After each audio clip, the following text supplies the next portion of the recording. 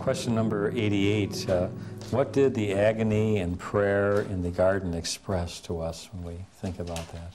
The agony in the garden, that means when Christ foresaw what he would suffer on the cross, he was perspiring blood. That showed us how, much, how intense the suffering of Christ was to be, that he was sweating blood. Secondly, it shows us how much he loved us. He loved us so much. The three apostles who were with him, he asked them to pray. They were tired, they were sleeping. At the third attempt to wake them, he did not. He left them. He was suffering, but he loved us. And he was praying to his Father, very conscious of being God and man. So it is a manifestation of God's boundless love for us. And also a sign that Christ was freely laying down his life.